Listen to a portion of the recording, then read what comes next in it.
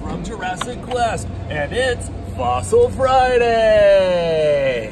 Today we're gonna take a look at this guy right here. This is Minotaurasaurus. Now, you'll see he has all this armor built up around his head.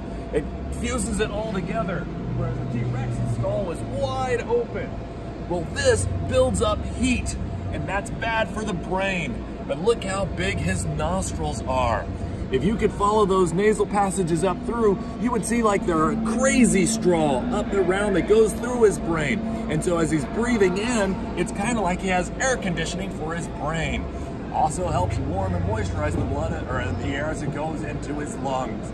All right, that's just one fun thing you can learn here at Jurassic Quest. Hope to see you soon.